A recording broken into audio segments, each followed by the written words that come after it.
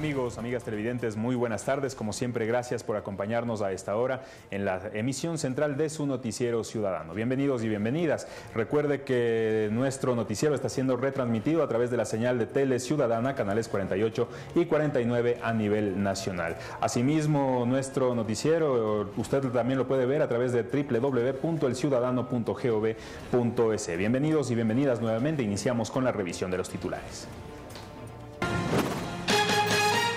Tripulación de buque chino fue sentenciada por delito ambiental. El SRI anuncia que certificados de cumplimiento tributario estarán en línea. El retrato de Fernando Daquilema, líder indígena, se exhibe en las oficinas ministeriales. Y en lo internacional, las FARC inician su vida política en Colombia.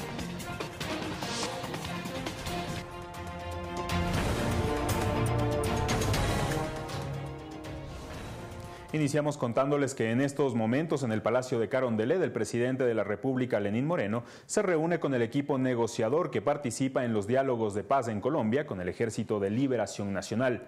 Recordemos que nuestro país es anfitrión de estas conversaciones centradas en buscar mecanismos que permitan poner fin a un conflicto que ha durado décadas en territorio colombiano.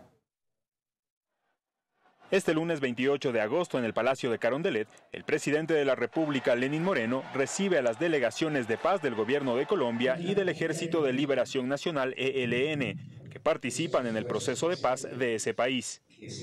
Las conversaciones entre las dos partes iniciaron el pasado 7 de febrero en Quito, lideradas por Pablo Beltrán del ELN y el exministro Juan Camilo Restrepo como vocero del gobierno colombiano. Desde entonces se han realizado tres rondas de negociaciones encaminadas a zanjar las diferencias, de manera que se pueda alcanzar un acuerdo de paz para poner fin a más de 50 años de conflicto armado en el país vecino. En 2016, en La Habana, Cuba, Colombia logró un acuerdo de paz con las Fuerzas Armadas Revolucionarias de ese país.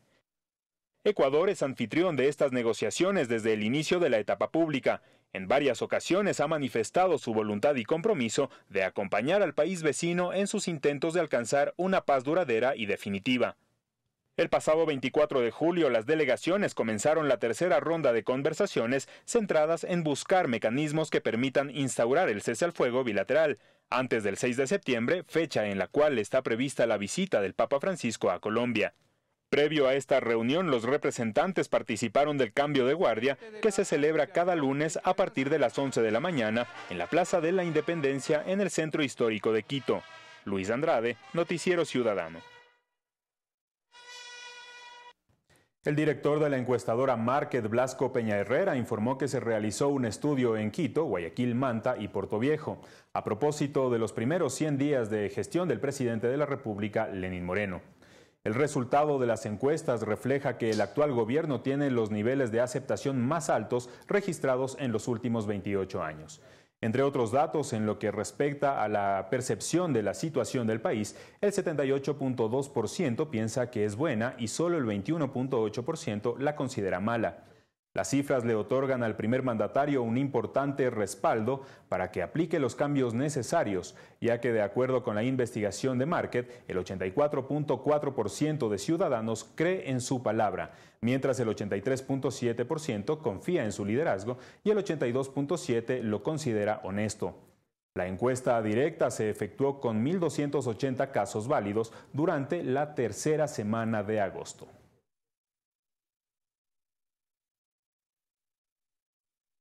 El Servicio de Rentas Internas informó que los contribuyentes pueden obtener sus certificados tributarios a través de los servicios en línea que ofrece la entidad. Los certificados de cumplimiento tributario que avalan que un contribuyente no tiene obligaciones pendientes con el fisco pueden obtenerse a través de los servicios en línea que ofrece el Servicio de Rentas Internas. En este documento consta información sobre deudas pendientes o firmes determinadas por el SRI, y ante las cuales el contribuyente no ha presentado ningún reclamo dentro del plazo que señala la ley.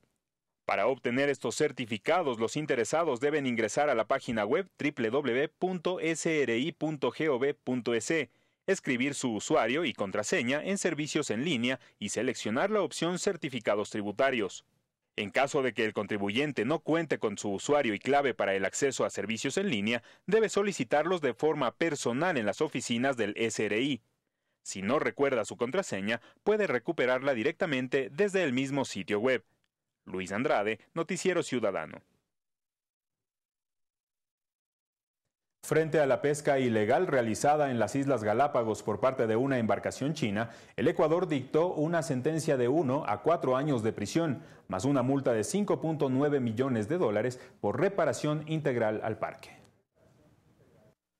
Luego de tres días de audiencia de juzgamiento, la jueza de la Unidad Judicial Multicompetente, doctora Alexandra Arroyo, resolvió condenar a la tripulación de la embarcación china Fu Yuang Yulek 999 de uno a cuatro años de prisión, esto por el delito de tenencia y transporte de especies protegidas a través de la aplicación de un procedimiento directo. La embarcación que fue capturada el pasado 13 de agosto en las Islas Galápagos con 300 toneladas de fauna marina transportaba más de 6.000 individuos, entre ellos tiburones martillo. La resolución incluye además el pago de 5.9 millones de dólares por concepto de reparación integral de los daños ocasionados en este frágil ecosistema marino y también el decomiso penal de la embarcación por parte de Inmobiliar para beneficio de la población de Galápagos. En caso de ser rematada, el valor de la venta llegará al Parque Nacional Galápagos. Se lo capturó gracias a las Fuerzas Armadas, al, apoyo que, se le pudo brindar desde el Parque Nacional Galápagos y ahora estamos eh, eh, celebrando un día, espero que sea histórico para, e icónico para el mundo, porque podemos nosotros dar desde aquí un, marcar un hito y que la humanidad sepa que ya no podemos continuar bajo este tipo de sistemas de, de una sobreexplotación de pesca. Este indignante episodio movilizó a los ciudadanos de San Cristóbal y Santa Cruz a levantar su voz de protesta. Por eso, como hijo de pescador, como hermano de pescador, mi voz de protesta es el pescador de Galápagos, siempre ha sido el, guardián soberano de los recursos naturales. ¿no? Galápagos se debe conservar pristino al mundo, Galápagos se debe conservar tal como es. No debemos atentar contra la naturaleza, no debemos eh, atentar contra el medio ambiente. Por eso, Galápagos dice, basta ya de la, de la pesca ilegal de nuestros recursos. Pero el asunto puede ser más grave. Se ha reportado presencia de cerca de 300 pesqueros en alta mar es decir, fuera de la zona económica exclusiva de las islas, lo que no deja de ser preocupante, dado que las Islas Galápagos tiene especies migratorias como tiburones precisamente. Ha iniciado con un pedido formal de explicación a China a efectos de eh, poder evidentemente establecer acciones que signifiquen defensa de nuestros derechos. La primera etapa es la que le estoy diciendo. Ha sido cumplida, fue de conocimiento público, es decir, pedir explicaciones al gobierno chino de la presencia de sus flotas. Será la Cancillería luego quien eh, determine los pasos siguientes. El mensaje que yo dejo, lo, lo ratifico de nuevo, es eh, aclarar que la Convemar es beneficiosa para el Estado ecuatoriano y que la misma Convemar contempla acciones cuando a presencia de barcos internacionales se refiere en alta mar. En este caso hablamos de, de justamente presencia de flota china en alta mar. La Reserva Marina y el patrimonio natural que constituyen las Islas Galápagos se enfrentan a la voracidad de la pesca indiscriminada e ilegal. Ecuador defenderá su soberanía en aras de la conservación de los recursos naturales de las islas, pero es una tarea que requiere corresponsabilidad internacional. Carolina Díaz, Noticiero Ciudadano. Amigos, amigas televidentes, es momento de hacer una pausa, pero quédese con nosotros. Ya regresamos para contarles que el retrato del líder indígena Fernando Daquilema se exhibirá en las oficinas ministeriales como parte de la campaña de valores que emprende el gobierno nacional. Ya volvemos.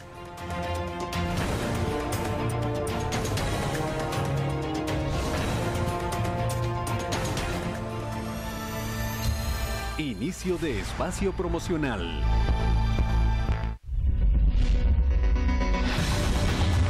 ¿Qué tal amigas, amigos? Acompáñenos este martes 29 de agosto al último programa de Ecuador No Para. Haremos un recuento de los principales acontecimientos en el ámbito nacional e internacional analizados por nuestros invitados durante el desarrollo del programa. No se lo pierda este último espacio de Cuaderno para este martes 29 de agosto a las 21 horas con 30 minutos por Tele Ciudadana y www.andes.info.es.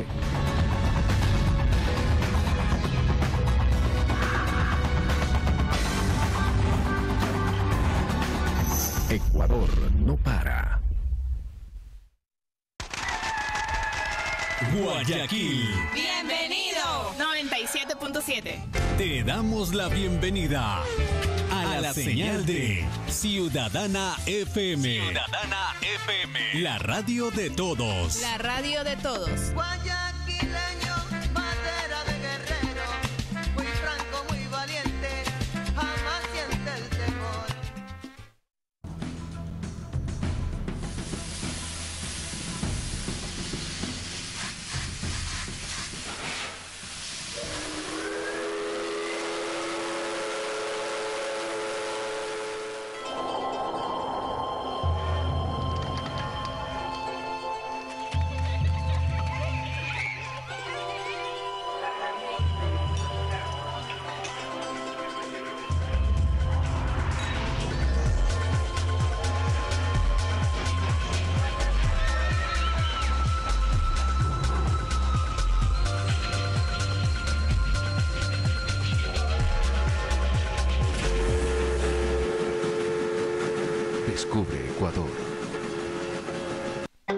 La ciencia es la gran aventura intelectual del siglo XXI. Ecuador vive en esta aventura y ha sabido encontrar en ella la fuente a grandes soluciones.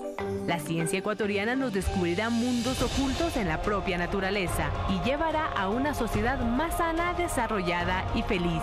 Abramos nuestra mente y escuchemos a los grandes sabios e innovadores del presente y del futuro de Ecuador. Bienvenidos a El Ladrón de Cerebros.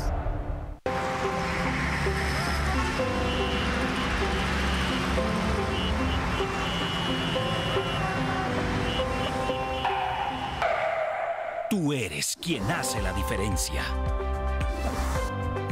La seguridad del peatón es lo más importante. Elijamos siempre el camino del respeto. Fin de espacio promocional.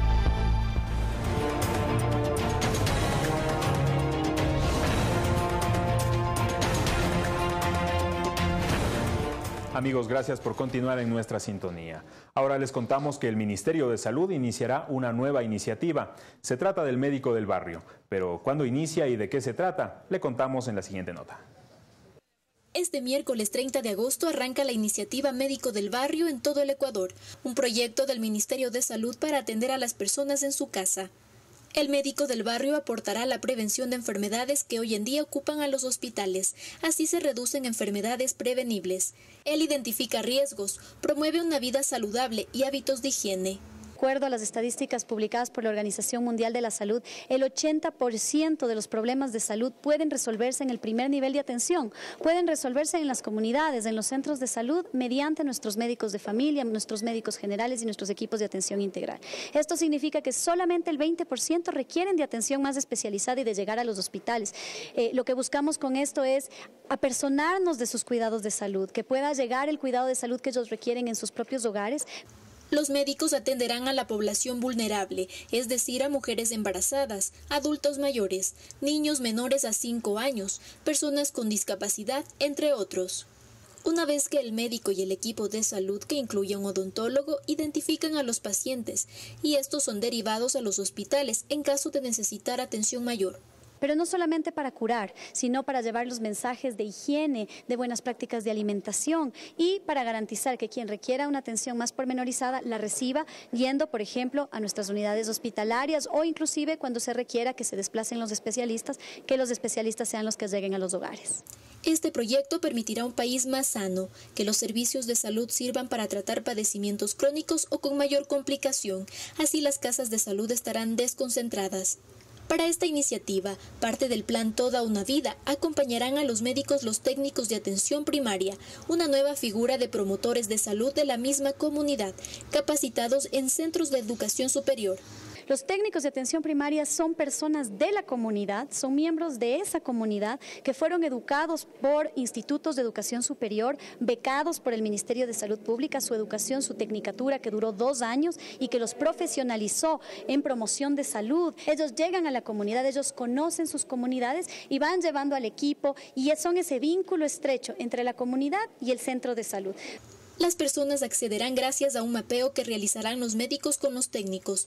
No es necesario acudir a los centros de salud, pues ellos irán a visitarlos. Los técnicos de atención primaria van a llegar muy bien identificados con sus chalecos. Además hemos recuperado eh, la lógica del maletín, ¿no? Esa idea de ir llevando el centro de salud en mi maletín, eh, donde va a ir mi estetoscopio, mi fonendoscopio, si es que hace falta llevar algunos eh, medicamentos, algunos insumos. Tenemos el rotafolio, una importante herramienta que se trabajó con UNICEF. Con esto va a ir el médico y además de muchas otras herramientas para darnos mejores conocimientos a los ecuatorianos y ecuatorianas que queremos, por supuesto, una vida más sana. Morejón, Noticiero Ciudadano. Cambiamos de tema. A través del plan Hilando Desarrollo, cientos de artesanos proveen al Estado los uniformes para el próximo año lectivo, generando así más empleo y desarrollo. Artesanos de 90 asociaciones registradas en el Instituto de Economía Popular y Solidaria IEPS trabajaron en la confección de 186 mil uniformes escolares, los cuales son entregados en zonas urbanas y rurales de Chimborazo, Tunguragua, Cotopaxi y Pastaza. Los pequeños empresarios quienes forman parte del programa Hilando el Desarrollo, el cual les permite participar en el proceso de compras públicas y proveer al Estado de uniformes para los diferentes niveles de educación, reconocen que esta iniciativa dinamiza la economía de miles de artesanos textiles. En la zona urbana, los kits se proporcionan solo a estudiantes de niveles iniciales y consta de dos pantalones, dos camisetas y dos chaquetas.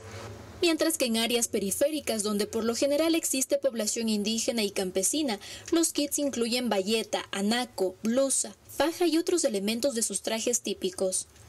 En planteles de educación bilingüe de la Sierra Centro y Pastaza, el número de uniformes que el Ministerio de Educación entregará sobrepasa los 35 mil. En este contexto, el monto invertido por el Estado para la confección de uniformes de la zona central del país supera los 6 millones de dólares. Uno de los propósitos de esta iniciativa es incentivar los emprendimientos asociativos y generar mayores oportunidades de empleo para los artesanos del país. Caterina Morejón, Noticiero Ciudadano. Y como parte de la campaña de valores que emprende el gobierno nacional hace dos meses, el retrato del líder indígena Fernando Daquilema se exhibirá en las oficinas ministeriales. A partir de este lunes 28 de agosto, el retrato de Fernando Daquilema, uno de los líderes indígenas más importantes del país, se expondrá en las oficinas de las instituciones públicas y secretarías de gobierno, como parte de la campaña de valores que inició el gobierno nacional el pasado 26 de junio con el retrato de Manuel Espejo. Daquilema lideró el levantamiento indígena de 1871. Según los historiadores, él incitó a los trabajadores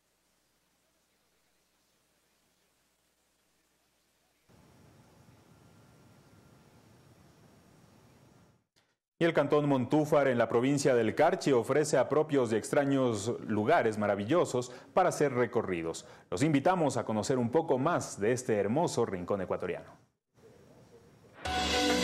El cantón Montúfar, ubicado al norte del país en la provincia del Carchi, es conocido como el Valle de la Eterna Primavera, una tierra fértil surcada por ríos y cascadas que han forjado una geografía de bellos paisajes. Su tierra guarda tesoros de la identidad ecuatoriana, cuya cultura se mantiene latente hasta hoy en el espíritu emprendedor de su gente trabajadora. Eh, Montúfar es arraigada en su cultura pasto, de tradición, de buenas costumbres, de hombres trabajadores. Es una ciudad amena, de gente bondadosa. Porque tiene un potencial turístico de igual forma, por sus cascadas, por sus bosques, por su centro histórico, por su identidad, su tradición, su cultura. Turísticamente es un lugar hermoso que, que desearía que todos los turistas del país y del mundo vengan a visitarnos y vean lo, lo hermoso que tenemos en nuestro país.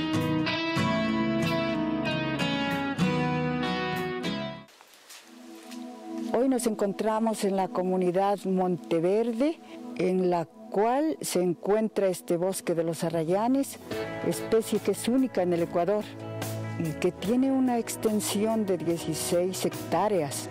Sus árboles milenarios, como podemos observar, que nos brinda paz, Aquí somos visitados por turistas, tanto nacionales como internacionales. Eh, nos agrada mucho saber cuando llegan universidades, estudiantes de otros países.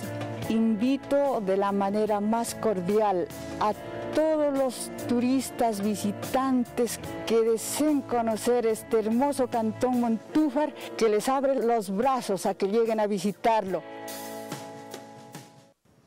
Amigos, amigas, es momento de hacer una nueva pausa, pero quédese con nosotros. Regresamos con las noticias internacionales.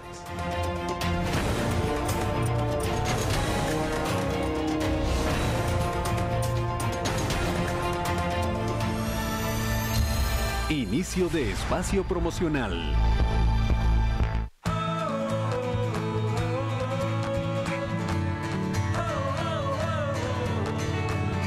Tu plan siempre es crecer soy piloto de lancha desde los 15 años. Navego desde Puerto Bolívar a todas las islas y archipiélagos del sector. Todas las artes son herramientas de transformación social. Había como una carencia del circuito de arte en la ciudad de Machala. Soy periodista de la vieja escuela, periodista de la calle. Cuando salimos en la mañana, recorremos diferentes puntos de la ciudad, entrevistamos a la gente, tomamos fotos. Lo que más me gusta es el contacto con la naturaleza, conocer gente nueva y que ellos conozcan mi provincia. Yo monté hace tres años atrás un festival de pintura, de graffiti, es de arte urbano. Nosotros hemos promocionado los artistas locales. Se ha hecho más rápido la recuperación de la información gracias al uso del Internet. En esto, enviar y recibir información de manera inmediata es la clave.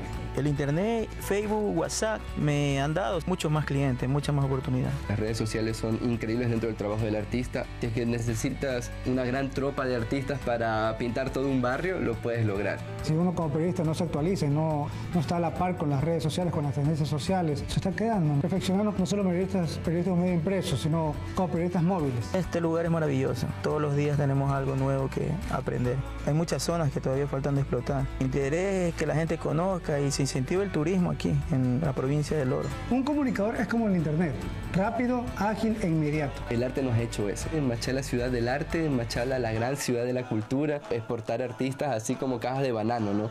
Tu plan siempre es crecer y el nuestro también. ¿Y tú? ¿Qué planes tienes con CNT? Fin de espacio promocional.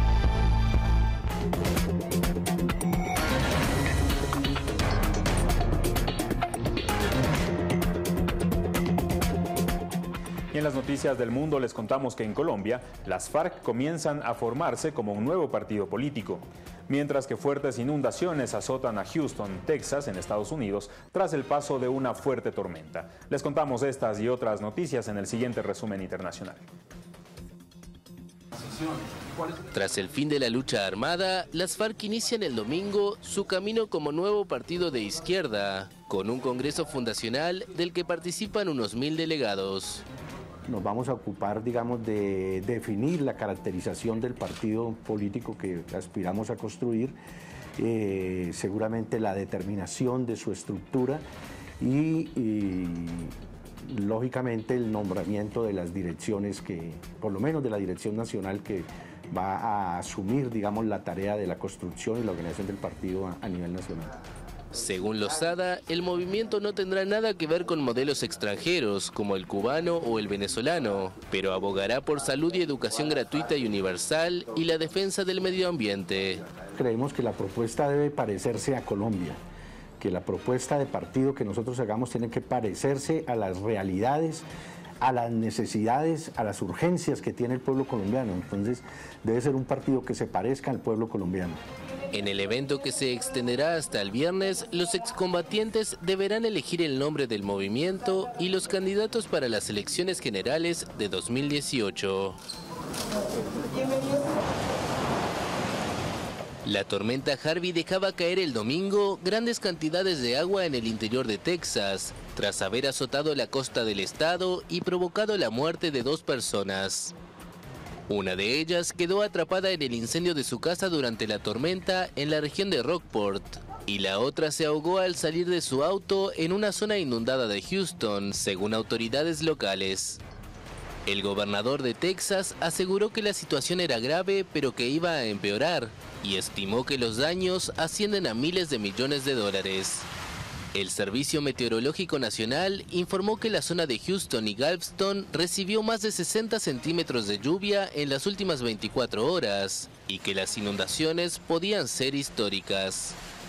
El huracán más potente en azotar Estados Unidos desde 2005 fue degradado el sábado a tormenta tropical Pero su lento avance dejará caer mucha agua sobre una misma región durante varios días.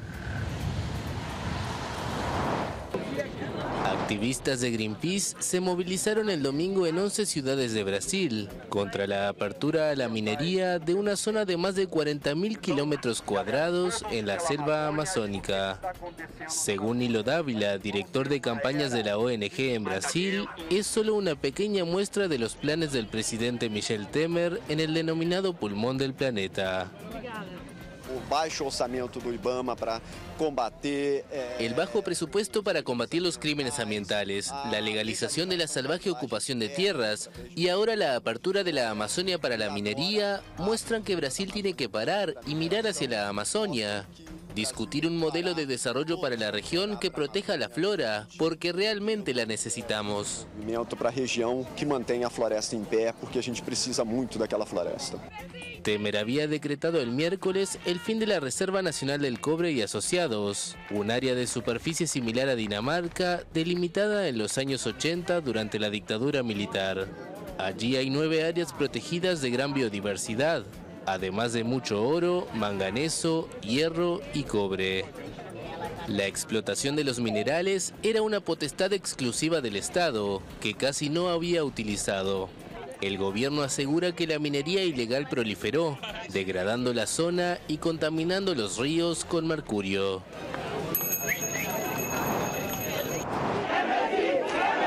El polémico gurú acusado la semana pasada de violar a varias devotas ha sido condenado este lunes a 10 años de prisión. La sentencia se ha dado a conocer bajo fuertes medidas de seguridad con el despliegue de 2.000 policías y 23 compañías paramilitares en el distrito de Rotak, cerca de la cárcel de Sunaria donde se encuentra el gurú, que cuenta con millones de seguidores. De hecho, el magistrado encargado de leer el fallo se ha tenido que trasladar en helicóptero hasta la cárcel. La condena provocó el pasado día 25 disturbios en diversos puntos del país.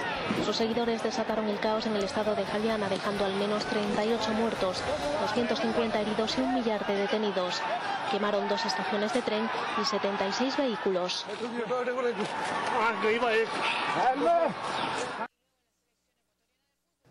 Amigos, amigas televidentes, de esta manera llegamos a la parte final de la emisión central de su noticiero ciudadano. Quédese con nosotros, más noticias hoy a las 7 de la noche. Que tengan un excelente día. Hasta pronto.